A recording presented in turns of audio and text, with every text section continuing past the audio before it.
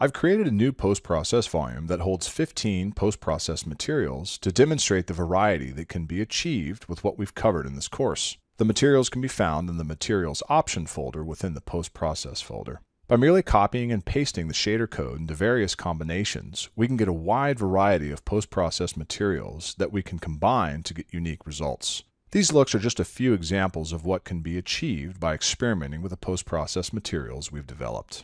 So let's say we want our outlines to render on our characters and the base color to render on everything. We get something that looks like this. Or maybe we don't want the base color on everything.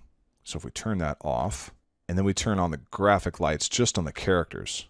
Let's go back to the beginning of the sequence and let's adjust some of the colors on the characters. Maybe we have like a blue shadow a little bit, and maybe there's a little bit of a warmer green in the lighter areas, and then let's actually get more light on there. And then we can get something that removes the characters a bit more from the environment. Let's bring this back to the beginning of the sequence and turn that off. Turn off the graphic lights on the characters. And instead, let's put the painterly effect on the environment.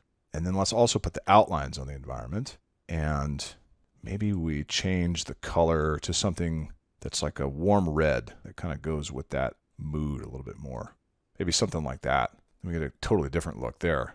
Or maybe we turn off the lines on the environment and then we change the color of the dark area to something that's like a, a blue. And then we also turn on the painterly effect on the characters. And then we turn the lines also onto the characters. And now we have something that's even more removed from reality. Or perhaps we turn off the painterly effect on the characters and on the environment as well as the lines on the characters. And then let's turn on the light color bands on the environment and then the lines back on the environment. But instead of red lines, let's make them something ghostly, like a blue or something like that. Something like that.